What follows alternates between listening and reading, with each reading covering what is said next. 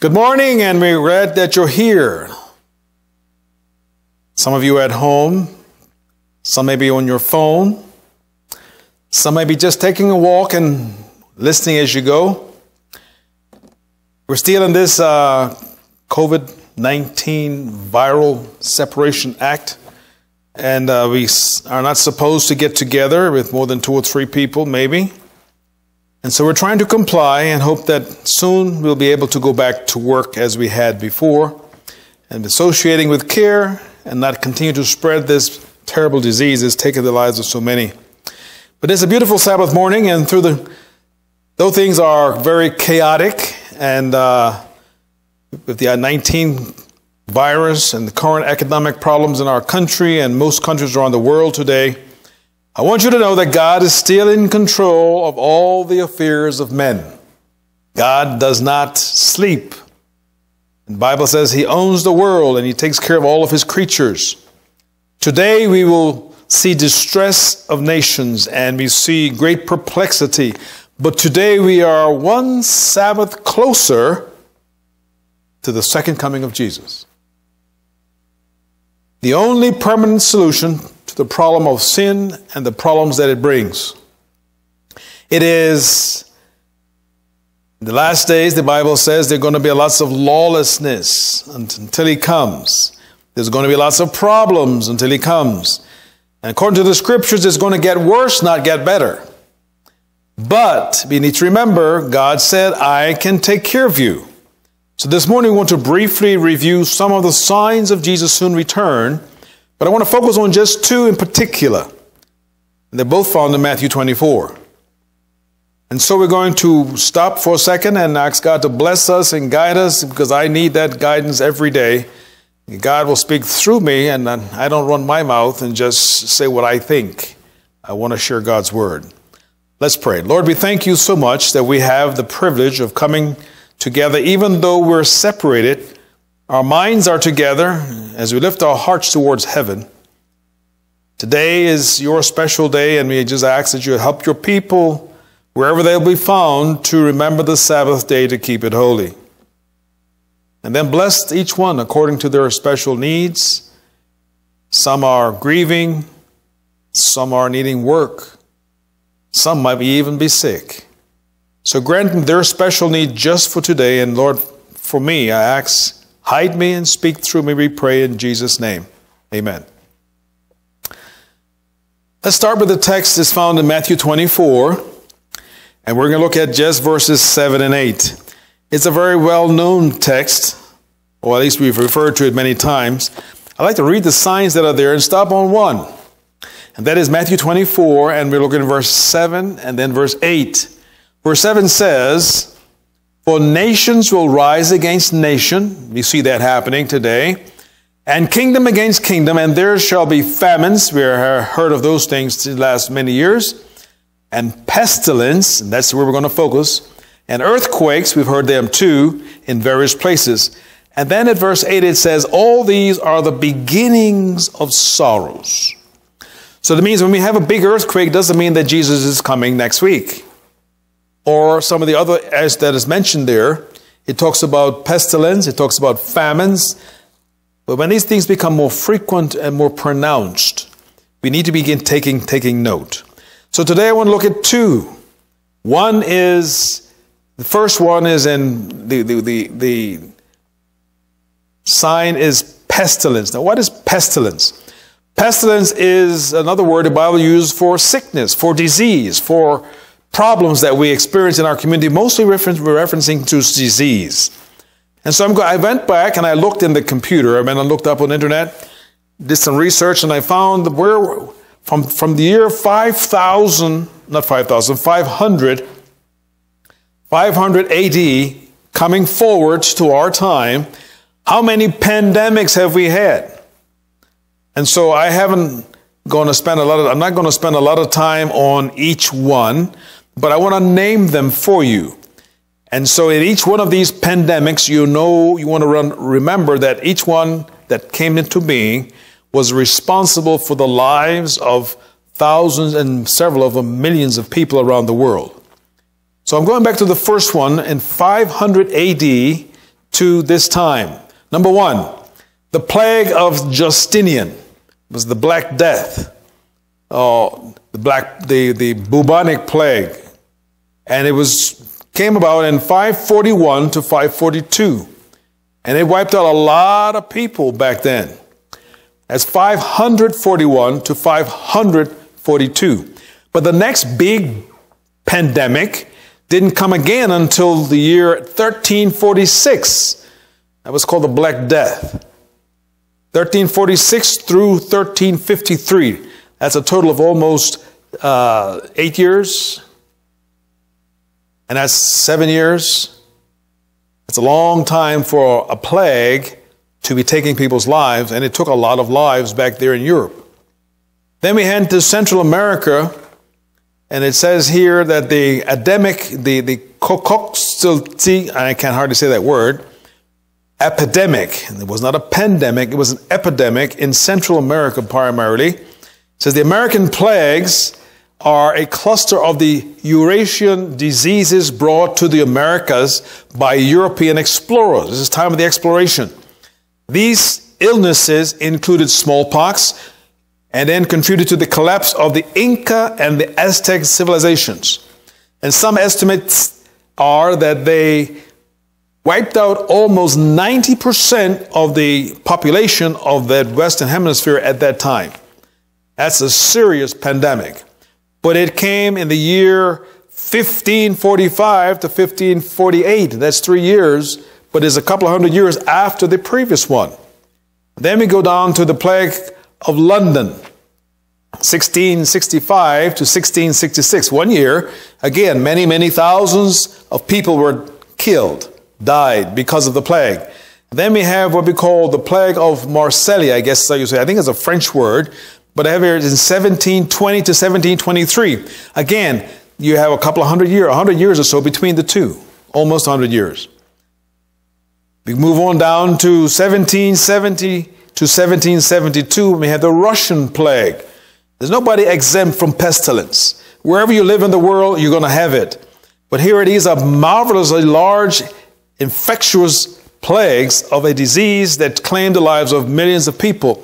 Then we have the yellow fever epidemic in Philadelphia, in this country, back in 1773.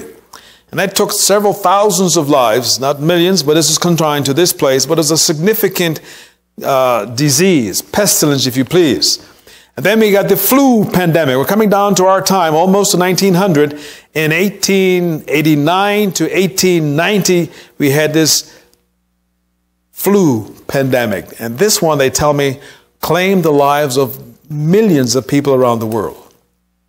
Now, we're going to come to our last decade, last century, 1900 to 1999.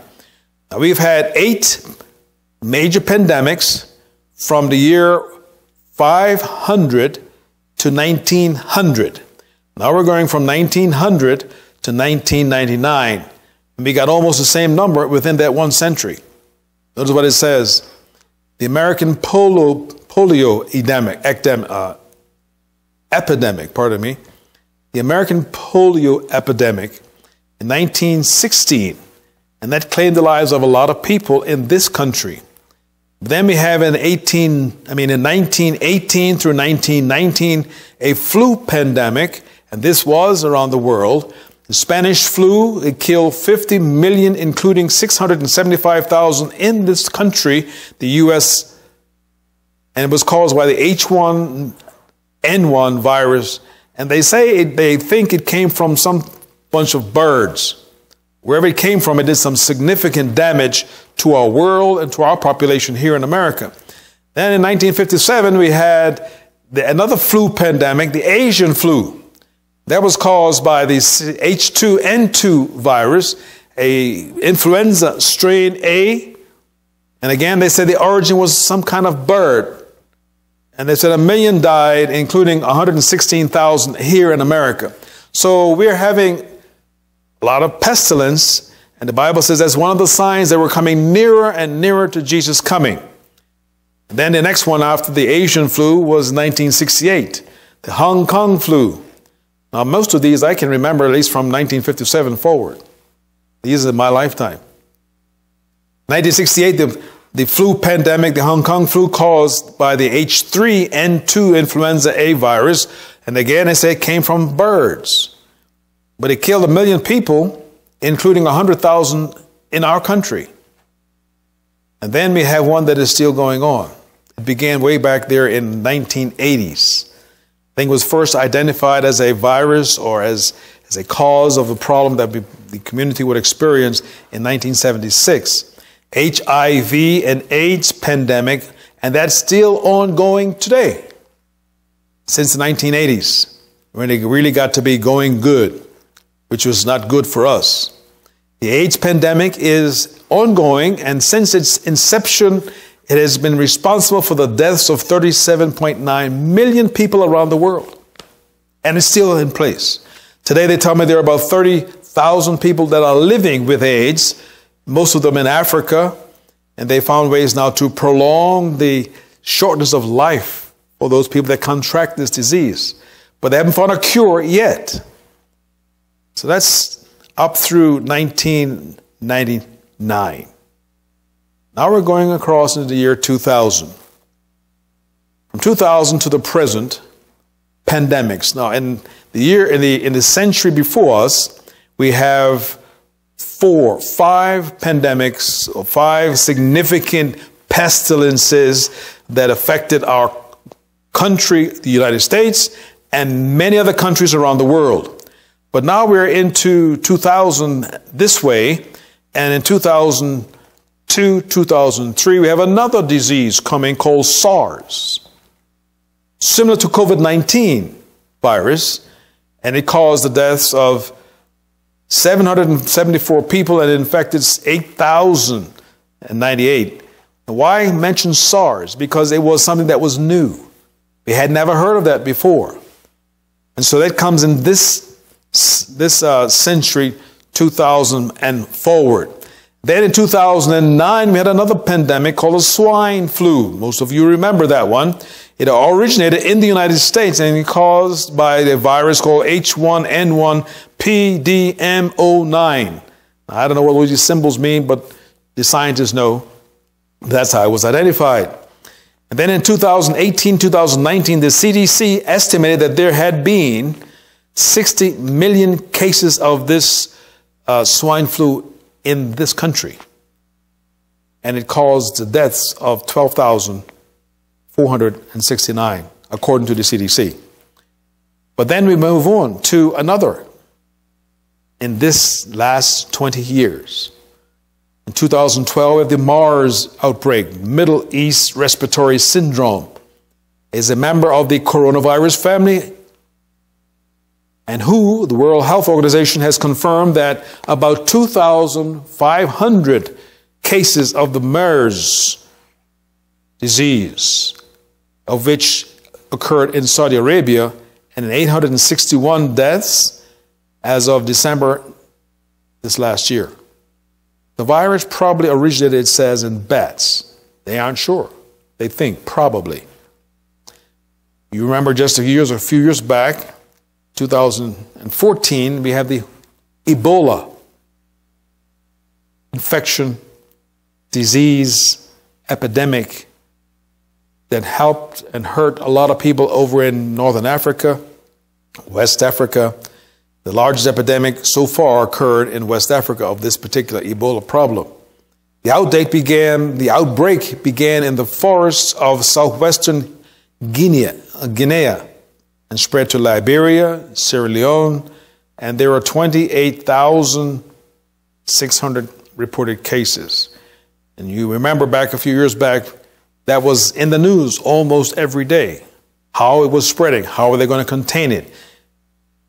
But then we come down to our year, 2000, well, last year, really.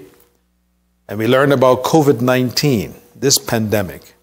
I looked yesterday to see that the, the scores were, or the numbers were, for a few countries.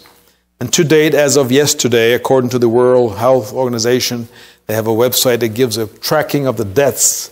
And I'm saying that it says the world by last yesterday, on the 15th or the 15th, 16th of, of uh, April, it was 2,056,000 368 cases recorded. Of that number, 133,087 have died. In the United States, as of a couple of days ago, we had 636,000 cases and 28,326 deaths reported as of two days ago. Spain, similar numbers 177,000 cases, 18,000 deaths, 18,700.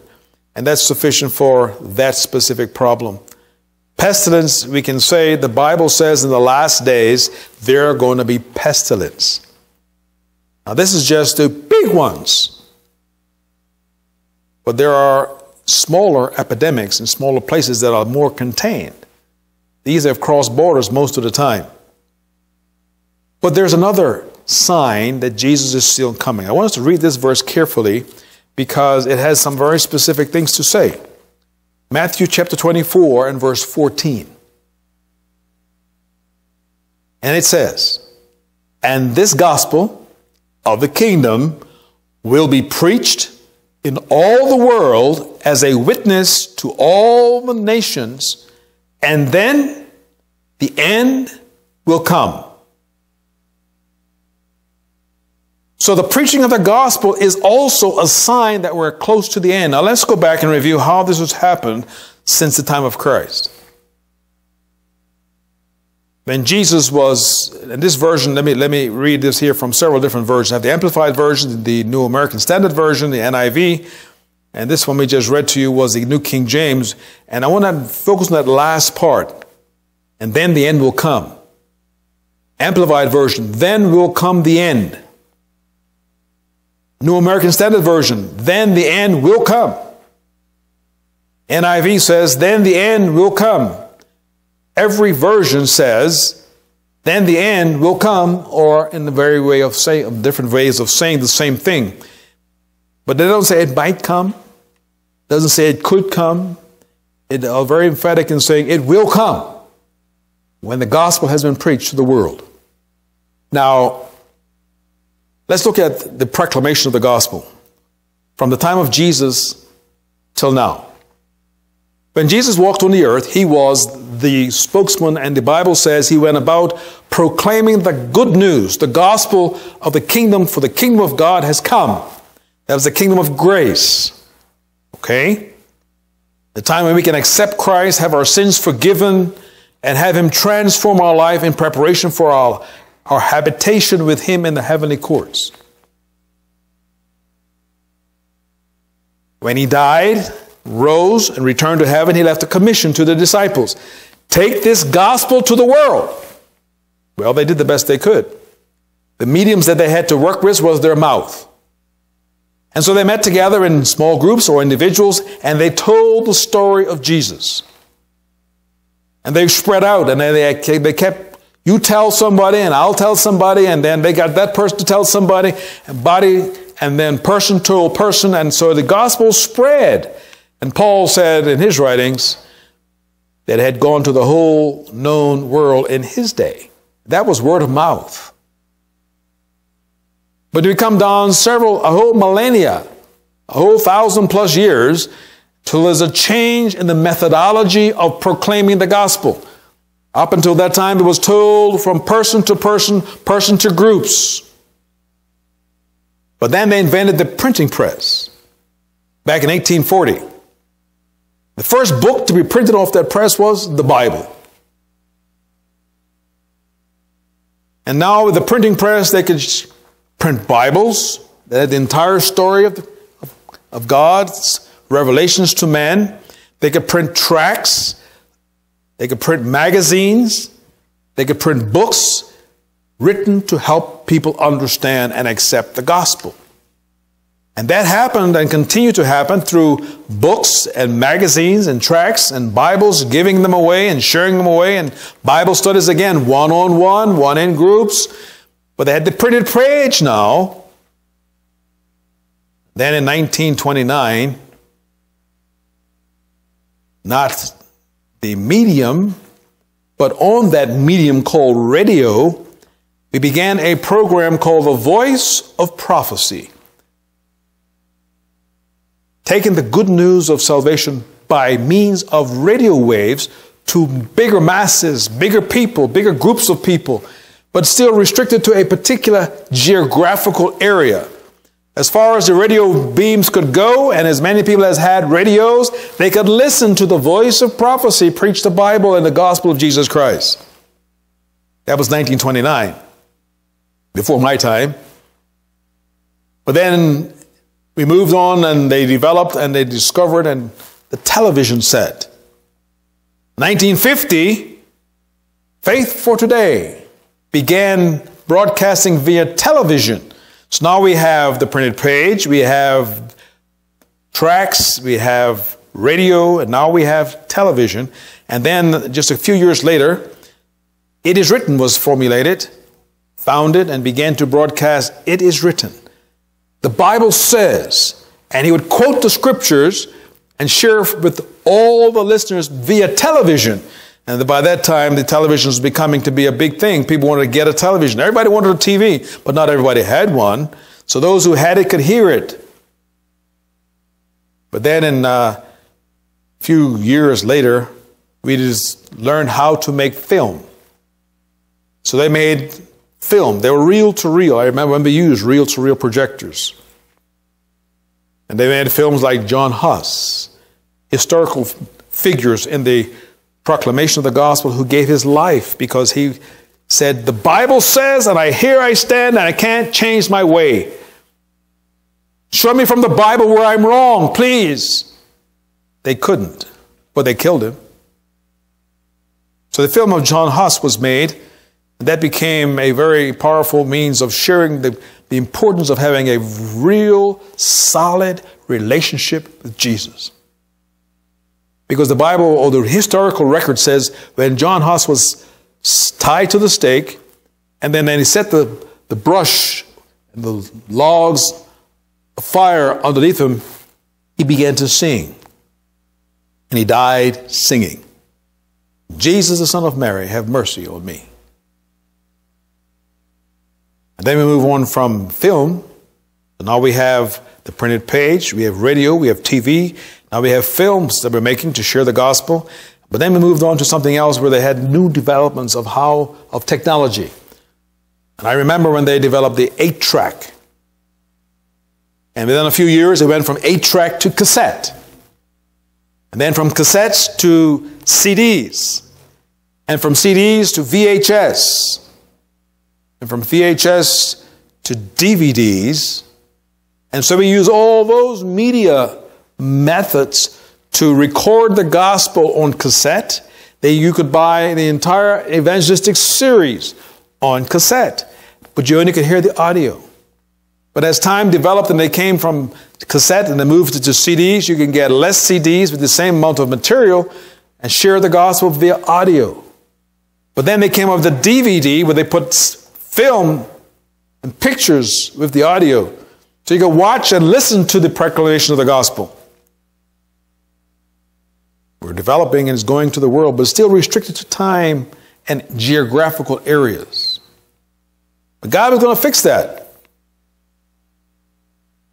As we continue down, back back in 19, early 1990s, we had a program we called Net Programs.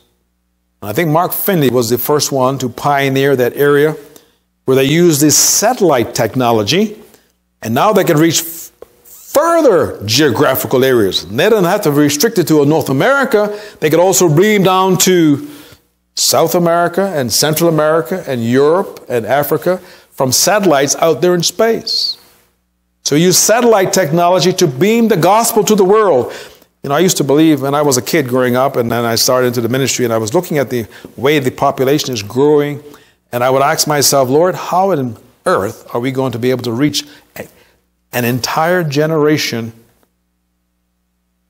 at one time with the gospel before you come.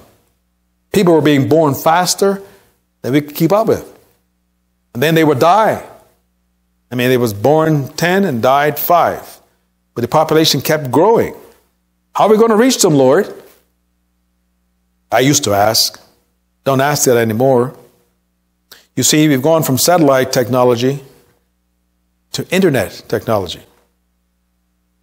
Internet is not just slow, meticulous. I watch it develop over the years. And the first time we got it was very, very slow compared to today. When we first got the internet, we couldn't run audio and visual presentations because it was just too slow. You can send emails, you can send text messages, kind of things, those types of things, short messages, and it would go around the world in seconds. But today, God has allowed man to develop the internet to such a point where we can now beam this program.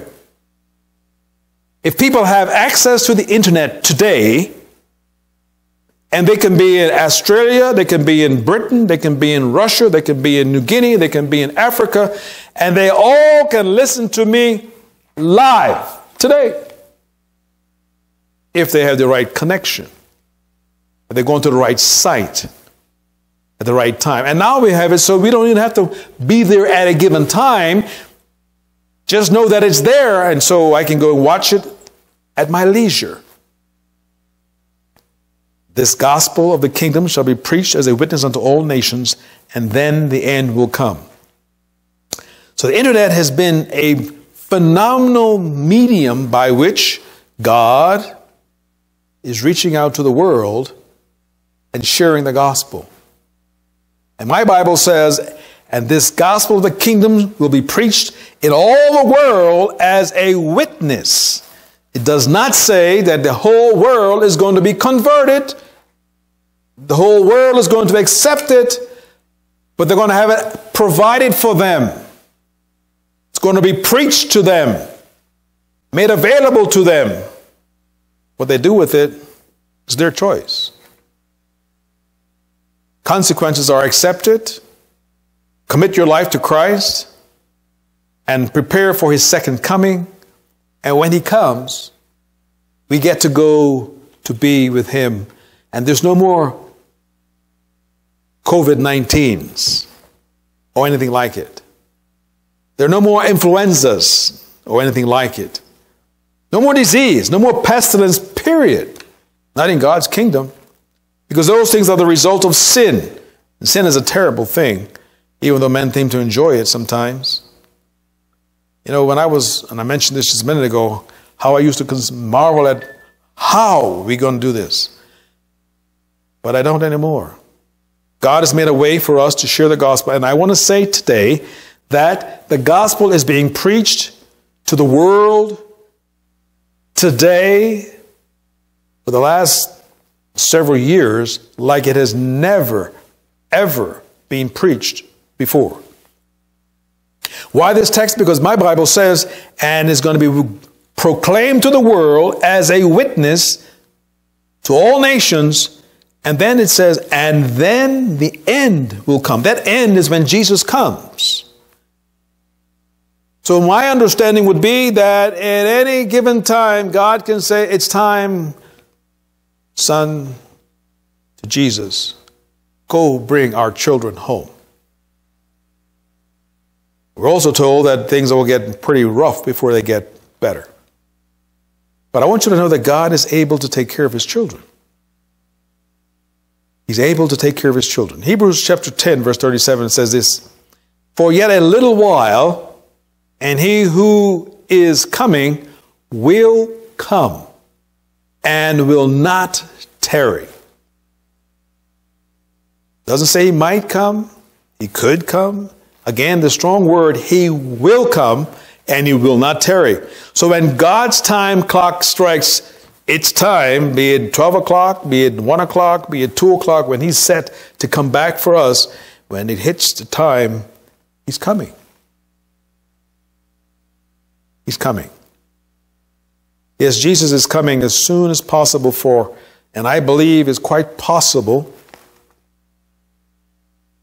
I can't promise this because the Bible, Jesus is very clear. Nobody knows the day or the hour. But he did say one thing that is important to us. Jesus never said, Tell me how much you love me. He never said to us that we should Wait till we almost see him coming and then get ready. He said, Be ready. And the reason being is, he says, For in such an hour as you think not, the Son of Man comes. In other places, it says he'll come as a thief in the night. You know, thieves are not expected, you don't plan for them. I've had that ungodly experience. You come in to work. I was teaching school. Went in one morning. I used to go early. I got to the office and the door was open. What earth? And I opened the door, and lo and behold, somebody had been through our files, the computers that we had, and got into the classroom, taken them out. And there's a terrible feeling that goes through your stomach. You, you just like it's going to drop. So we called the police, and they came, and we finally got the persons involved. But the fact remains is when we have someone invade our space, it is not good. He will come, and he may come in our lifetime. So we need to be ready. Jesus said that over and over again be ready. I'm coming when you don't expect me to come. And here the Bible says you can know you're almost there when the gospel has been preached to all the world. Uh, let me share this now. Last night, Friday night, we began a first time event in the history of the Adventist Church when it comes to sharing the gospel. First time. We're giving a evangelistic series via the internet. And last I heard, because the people have to sign up, in other words, they need to register for the site. I want to be there. So they go to amazing no, hopeawakens.com, hopeawakens.com, and they put their name and their phone number and their email. That's it. And last I heard, there were 50,000 people had registered already, and the number's growing. So I don't know what it's going to be when we start, when we started last night, exactly. And I intend, I anticipate it will grow as we go through the series from last night till May 16. We have a, a working party of 1,700 plus virtual Bibles instructors to minister to these people. And that number is growing. And so we have the evidence today that God's declaration that the gospel is to be preached in all the world is taking place. Therefore, my conclusion is Jesus will come soon. Maybe, and I hope, in our lifetime. Now, let me share this. Some people are terrified when you talk about Jesus coming. They shouldn't be, but they are. And the only reason that they are is because they're not prepared. Let me illustrate. If you're driving down the street and the speed limit says 60, you're out periphery of the city or in between cities, for whatever reason, you're coming into an area where the average speed limit may be 70, 75, and you've dropped it to 60. But you're in a hurry. So you continue your already illegal speed of 85. So you're doing 85 miles an hour in a 60 mile speed zone. And lo and behold, you see a highway patrol car. How do you feel? Scared. Did he see me? Oh, yes. And then, if you go, when you get past him and you see red lights behind you, you don't feel so good. Why? Broke the law. There's a consequence. Pulls you over, gives you a ticket. Could be take your license. Who broke the law? You did. Policeman's just doing his job, trying to keep the community safe, keep us within speed limits. Change the scenario. It is now late at night. You're traveling maybe back home or on a trip. Traveling the speed limit, fine. It's dark, and your car hiccups and dies. There's no lights that you can see anywhere in the distance. How do you feel? Anxious? Maybe scared? Concerned for sure. What's wrong with my car? I'm out here in no man's land. And then highway patrolman pulls up. How do you feel? Ah, relief. Help is here. He'll help me. That's his job. And he does. Notice a different reaction to the same person or the same vehicle. In one circumstance, I'm terrified. In the other circumstance, I'm rejoicing. Why? Because in the second circumstance, I have a need. I'm not breaking the law, and the patrolman becomes my savior. Jesus is our savior. When we give our life to him and he takes away all the bad stuff in our life now. But if we wait until he returns, still practicing that bad stuff, whatever it might be, we're terrified. One other simple illustration. I want to ask you to think, and I'm thinking most of you who are watching or listening today, you have had this experience. How many of you have ever burned your fingers trying to start a fire with a match? Think about that. Have you ever had the experience where you've burned your fingers trying to start a fire. Maybe you're going to barbecue, you're going to do whatever, and you burned your fingers. Ah, that hurt. Why did you burn your fingers? Because you like to hurt? Nope. There's only one reason that I can come up with that we burn our fingers. And I've had that experience, by the way, so I know. There's only one reason why we burned our fingers trying to learn to light a match, light, light a fire with a match. We held on to the match too long. That's the only reason. You saw the fire coming towards your fingers as it burned, but you just want to get that last little bit of benefit. Oh, and it got me. Sin will cause us to be burned. Jesus' job is to take away the sin.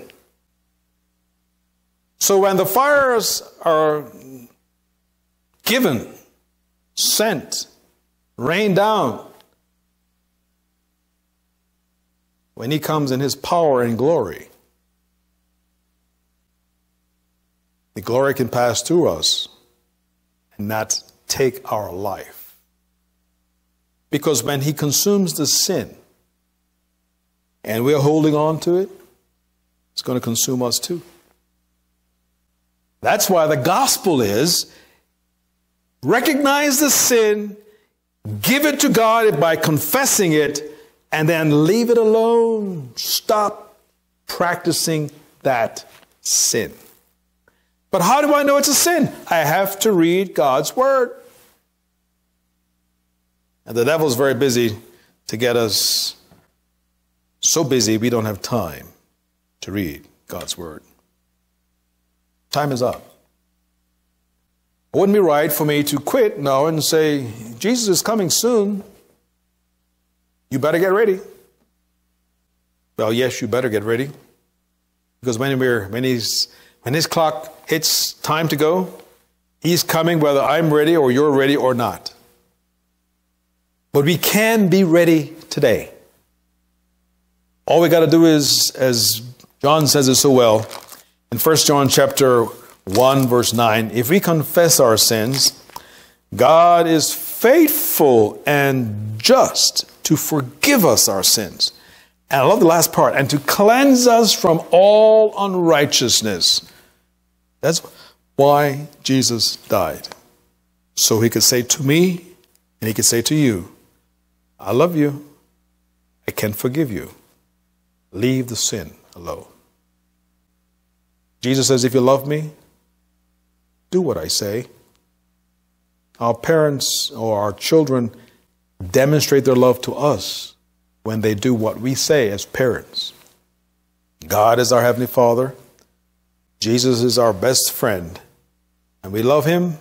We just do what He says as recorded in His Word. So today I'd like to leave this idea with you. If you haven't made that decision, get on your knees and say, Lord, I'm sorry for my sins. And I would like to encourage you to be specific. You lied, you cheated, you shouted at your husband, your wife, your child, you stole something, you used drugs, you drink, whatever your issue, confess that to God. Be specific. And then ask Him to help you to not do that again. And then thank Him for the victory that He'll give you in Christ. Last verse for today, 1 Corinthians chapter 15. I want to read that one verse that I love so much. 57, almost to the end of the chapter. And it says, But thanks be to God who gives us the victory through our Lord Jesus Christ. Today we looked at two signs. Those are pestilence. We're living in a pestilence right now. Two, the proclamation of the gospel. It is taking place like now, right now, as never, ever before.